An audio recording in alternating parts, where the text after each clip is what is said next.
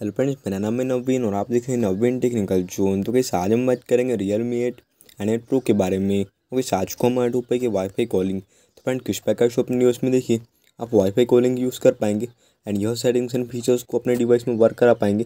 तो वीडियो को आखिरी तक देखिए एंड समझिए। अभी तक आपने हमारे चैनल को सब्सक्राइब नहीं किया है तो प्लीज़ सब्सक्राइब के लिए लीजिएगा तो फ्रेंड्स बिना टाइम वेस्ट करें यह वीडियो स्टार्ट करते। तो आप सबसे पहले आप अपने फ़ोन में देखिए डिफ़ॉल्ट सेटिंग्स में जाइएगा।